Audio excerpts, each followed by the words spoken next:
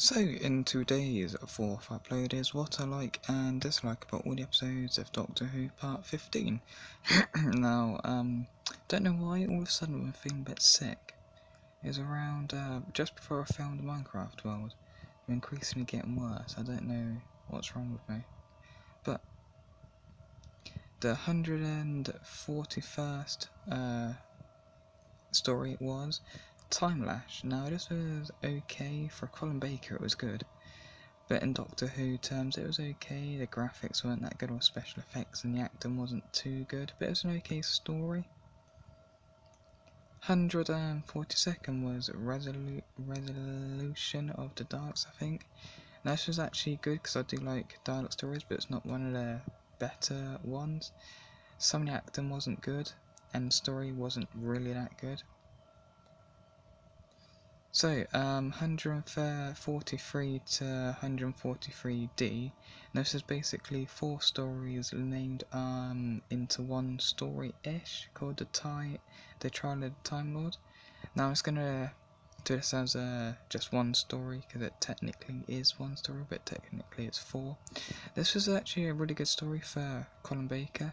It's how most of the episodes now are done. So if you want to watch a classic episode, but in the format of today's episodes. Watch Trial of Time Lord. Because these are about three quarters an hour long, I think. Three quarters an hour long. And it was a really good story.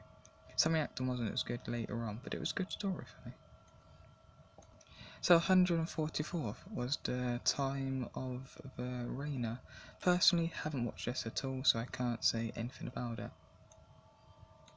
145th was Par I think it's Paradise Towers. This was okay. The acting wasn't as good, but yeah, Sylvester McCoy was okay. He was still getting into the role of the Doctor, and you can tell he is. So yeah, it was okay story.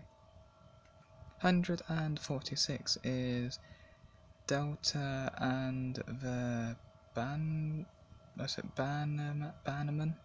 Now, I haven't actually watched this at all. Haven't personally watched this, so can't say anything.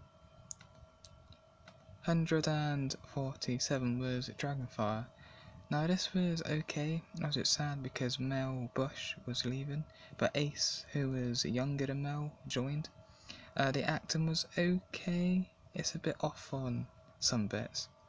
But yeah, Sylvester McCoy is alright in story and acting wise. 148 was Remembrance of the Daleks. Now this was a really good story. Obviously you can see it was the first one where the Daleks could fly or hover. So yeah, that was a big plus for me. And some of the graphics like that, it's not as good. But it's typical 80s Doctor Who. 149 was the Happiness Parade, uh, Patrol. But say parade, but Patrol. This was not a good story at all the acting wasn't good, the storyline wasn't good, and basically the villain wasn't good.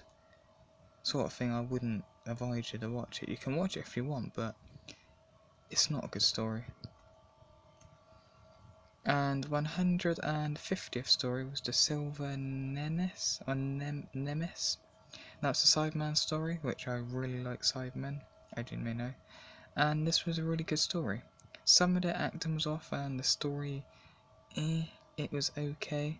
Been better if um, been better if the acting was good or the storyline was better. But it's an okay story. So, as always, all information correct as of the 10th of July or when I'm recording.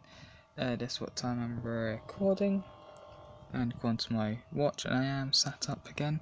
And as always, link in description to the normal things. And as always, thanks for watching and goodbye.